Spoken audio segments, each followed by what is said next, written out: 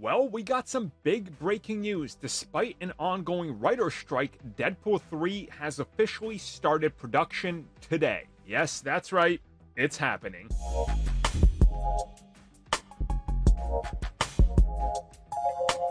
So, this news was confirmed by Colossus star himself, Stefan Kapicic, and he posted that the rumors are true, which we started to hear around the last 24 hours that production would start today, and it officially has.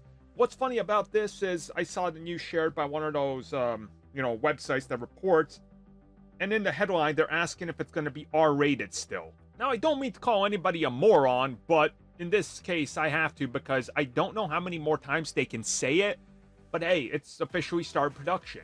Now, I know some people don't believe this for whatever reason. I've seen a lot of people saying they can't start production because of the writer's strike and all that. Well, here's the thing since Ryan Reynolds is one of the writers on the film and the star of the film, and also they brought in a whole team that he was associated with for the last two entries, and uh, it's his production company we've never heard anything about anybody in his company or even him siding with the writers, so we don't have to worry about this.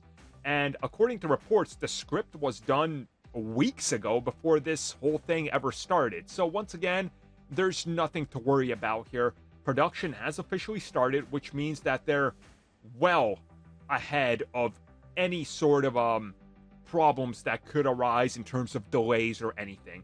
Now again, this could all change depending on other circumstances and other projects. I'm looking at you, Blade.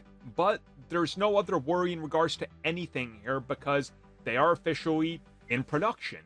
They got majority of the cast for what they need to shoot right now set. And if there's any later addition a couple weeks in, depending on who they're trying to negotiate with, Josh Brolin, I'm assuming that's going to happen uh, soon. So things are looking pretty good. They're moving uh, right according to schedule. And even if there was some delays, they still got plenty of a buffer to be able to produce this. And it's not a typical like 13 to 14 month turnaround. They got more time on this for Marvel Studios. So I think uh, this thing is as safe as you can get it.